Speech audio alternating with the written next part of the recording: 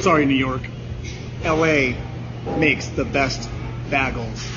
Let me tell you something. I know who the fuck you are or what the fuck you think this is, but how dare you, first of all, mispronounce that word bagels. Bagels. Bagels. Say it with me, you fuck. Bagels, alright? Second of all, LA?